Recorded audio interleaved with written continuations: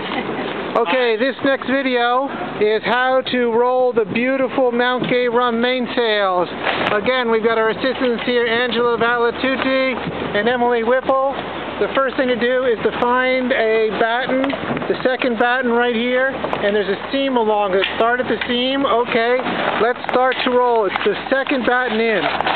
Look at the beautiful technique of keeping the roll nice and slow and organized so that they're both rolling at the same dimension. One person's not rolling smaller than the other person.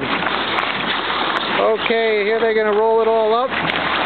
This is what keeps the sail in good condition throughout the summer, making your boat as fast as possible and preserving the equipment for the club. What a beautiful job. There they are in tandem, working together, going nice and slow, and each keeping the sail organized. There we go. They're going to go up. And then they've got the sail tied. Good job. Thank you, Emily and Angela. Beautiful.